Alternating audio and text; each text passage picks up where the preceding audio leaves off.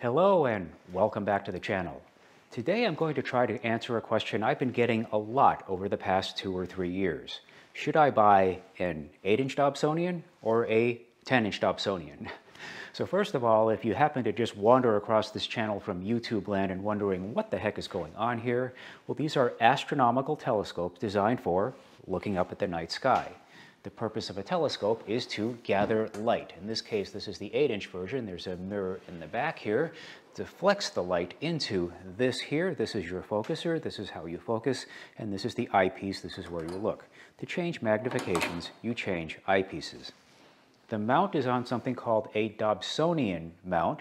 It's a fancy word. All it means is the mount goes left and right and up and down, named after San Francisco astronomer John Dobson, credited for popularizing its design.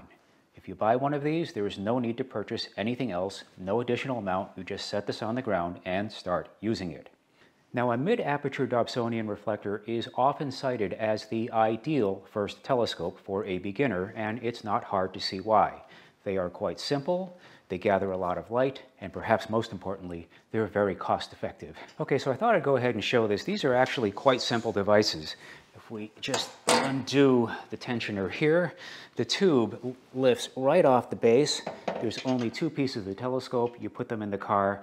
I can very often be set up and observing in less than two minutes. And perhaps even more importantly, at the end of the evening, I can be back in my car and driving home in only a few minutes. So on the 10 inch here, it uses a slightly different tensioning system. This is a, just a screw here like this. When you loosen these up, it's got a nice handle, and this comes off. So the purpose of a telescope is to gather light. When we step outside, our eyes can only gather a certain amount of light. Somewhere around 7 millimeters or so is the maximum amount that our pupils will open, and that number actually gets smaller as we get older. So the function of a telescope here is to gather light for us, in this case 8 inches here or 10 inches here. Telescopes are rated by their ability to gather light. Common apertures include 4 inch, 4.5 inch, 6 inch, 8 inch, 10 inch, 12 inch, and so forth. The more aperture a telescope has, the dimmer the objects it can see. Because the larger telescope can see dimmer objects, your acquisition time very often is reduced.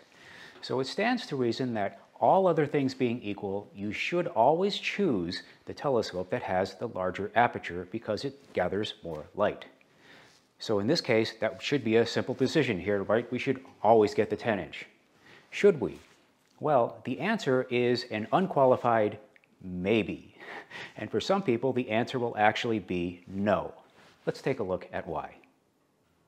Okay, so first of all, if you've reached this decision and you're trying to decide between one of these, you're already in a very good space. You're not going to go wrong buying either of these. You've navigated the minefield of the dreaded department store grade telescopes, and you found your way into a serious telescope. That's good.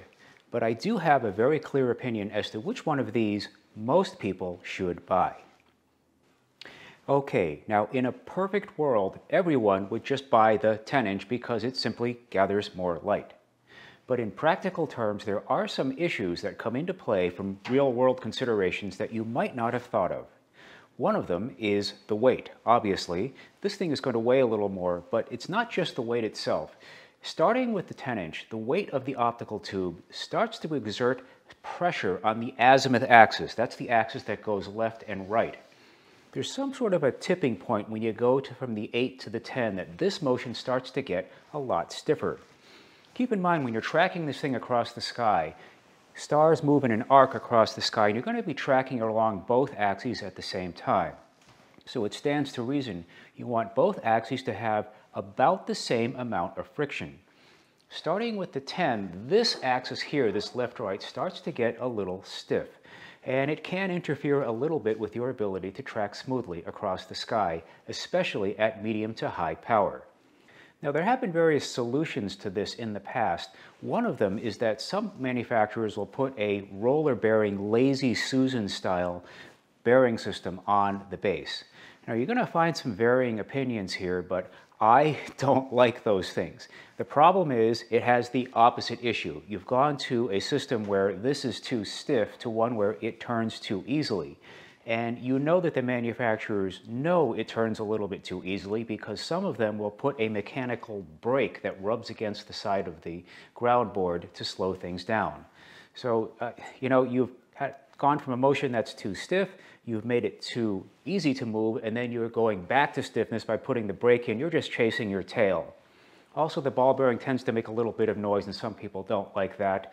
The brake doesn't exert an even amount of tension all the way around. Me, I just prefer it the old-fashioned way. Make this motion a little bit too stiff, and I'll just deal with it. The second issue with the 10-inch has nothing to do with the telescope itself. It has to do with you, the observer. Here's what I find. Over time, a 10-inch telescope gets used less than an 8-inch or a 6-inch. What happens is in the beginning, you'll use it in the beginning because it's exciting and it's new. But over time, if it's partly cloudy out or if you come home from work and you're tired, you might be slightly less motivated to take this thing out. My rule of thumb from observing people over the past 20 plus years, a 10 inch telescope gets used about half as often as an 8 inch. The telescope that shows you the most is the telescope you use the most, and 6s and 8s tend to get used. Now, having observed people over the years, it's interesting. It doesn't seem to matter who you are. You could be a bodybuilder, you could be a weightlifter, you could be a little teenage girl. It's all the same. People tend to use 10-inch telescopes a little bit less. So my general conclusion is that while the 8-inch sits in a nice spot for a solid tube Dobsonian design, the 10-inch starts to outgrow this design a little bit. Now, there have been some remedial measures that people have taken to try to get around this. I had, for example, the Skywatcher version of this semi-truss tube design here in for review. Again, it's a semi-truss design, and I gave it a semi-positive review. You can see that it eliminates a section of the tube and replaces it with truss poles. So here's the issue with that design. So first of all, it's fine. I recommend it. There's nothing wrong with it. So what you're doing is you're only getting rid of, depending on the model you get, somewhere between 12 and 16 inches of this solid tube here. Well, okay, but what does 12 to 16 inches worth of rolled steel here weigh? It actually doesn't weigh very much.